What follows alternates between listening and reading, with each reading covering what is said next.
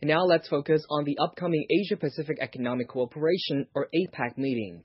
Experts say the APEC meeting in Beijing is expected to produce tangible outcomes and achieve greater regional economic integration.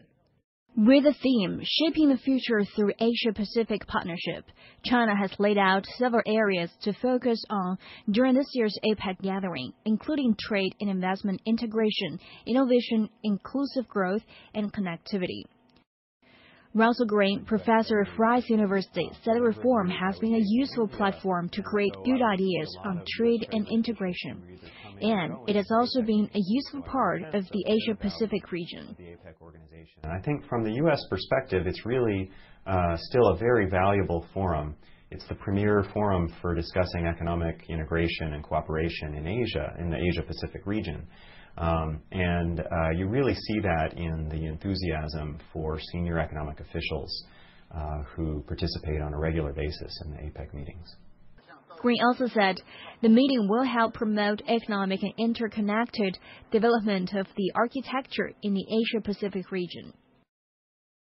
Well, I think you know the APEC uh, meetings the most valuable part of the meetings is often the conversations that happen on the sidelines, where the the um, the meetings provide a great forum for more relaxed discussion among senior officials on really important uh, topics that still align with the core goal of APEC, which is opening uh, more open and more free trade and investment. Um, a lot of these conversations are happening on the sidelines that help com- uh, help officials see eye to eye on a way forward to move towards greater economic integration. Um, and uh, so those those conversations really only take place because APEC is there and bringing everybody together to focus on these topics. Wishnu Wardhana, co-chairman of APEC Business Advisory Council or ABAC in Indonesia, agreed with Green. Uh, first, I think um, our overall architecture uh, integration is, is an important uh, factor. The second one is our ability to readjust our growth model and undertake uh, structural reform. Um, and the last one is um, we must investing on our soft and hard infrastructure uh, in order for us to be able to continue the growth um, and expanding connectivity in a very uh, comprehensive way. Both of them said China has great capacity to potentially help bridge the financing gap in the area.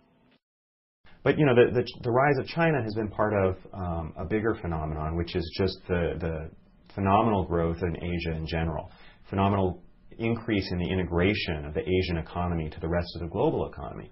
And so, if you're an, uh, uh, representing an economy in North America or South America, APEC has been a great place to take advantage of some of that dynamism that's taking place in Asia. So, it's been uh, really the, the dynamic growth of a lot of the different Asia, uh, APEC economies has helped APEC stay relevant in the sense that it has um, had a very dynamic membership that's made its agenda relevant even if it's operating in a low-key fashion. Uh, China will continue to play um, very important and um, critical role in the many years to come.